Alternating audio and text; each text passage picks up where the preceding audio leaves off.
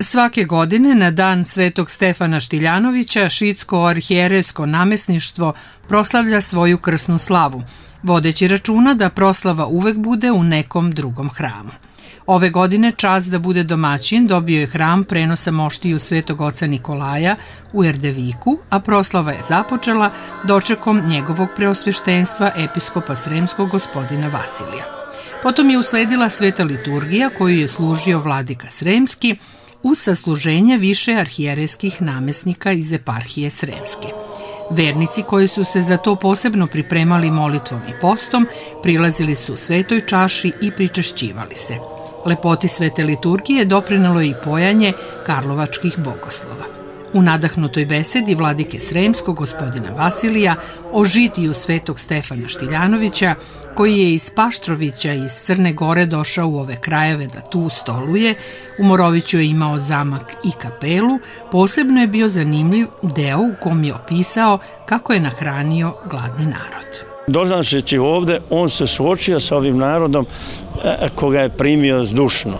I videći u njemu jednu blagu prirodu, jednu, jednu posebnu odanost Bogu jer je bio stvarno molitvenik. Prvo, vizavije svega što činio i radio, on je prvo bio Boži čovjek. A onda poslije bio vojnik i strateg i e, svakako onaj je čelnik, despot koji je vodio ovaj narod. Borio se, molio se i borio se e, neprestano sa Turcima koji su neprestano navaljivali pa do, došli čak do Beča.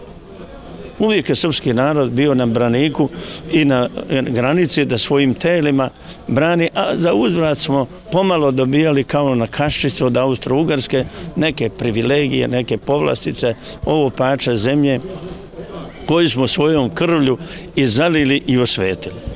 I on je to sve znao i spoznajući, bježeći, došavši čak do Beča. U tom malom mestu, sagledavši, a zavladala je ogromna glad, onda on gledajući taj svoj narod kako strada i kako, kako ga nestaje, jer su Turci poharali sve što su mogli i odvoli najbrojnije ljude i najmoćnije ljude, mladež, odveli u, u robstvo, a ostala je zemlja pusta. I on je otvore svoje žitnice i svoje ambare i nahranio, podelio. Sa namerom kao da njima taj srpski narod vrati njemu to. A on kad je svagledao da taj narod nema od čega da vrati, on se popio na jedan brdo džundir i sa tog brda održao čuveni govor.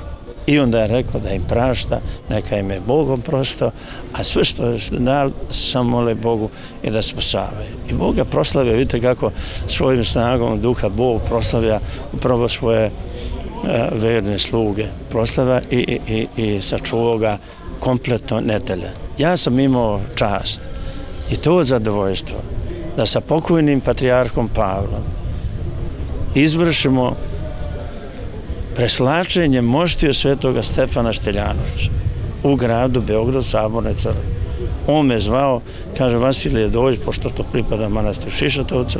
I ja sam imao, mi smo se nekako, nas nekoliko i sveštenika koga je Patrija Pavle zvao, zatvorili su u Sabornu crkvu, ima to poseban čin preslačenja moštiju, kao što se to preslače mošti svetoga Vasilija Osluškoga, sveta Petra Cetinskoga i mnogih drugih svetitelja, preslače mošti, tako smo i mi svetoga cara Uroša i svetoga Stefana Štiljanovića. Ja sam ga držao ovako u svojim rukama za, za, za pleća.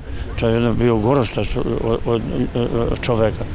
I tu smo presvučili i dan danas stoji u Kovčegu Sabornoj crkvi. Mi sa dužnim poštovanjem očekujemo da će dati Bog da se umnoži bratije u manastiru Šišatovcu i da vratimo mošti Svetog Stefana Šteljanovića u manastiru Šišatovcu.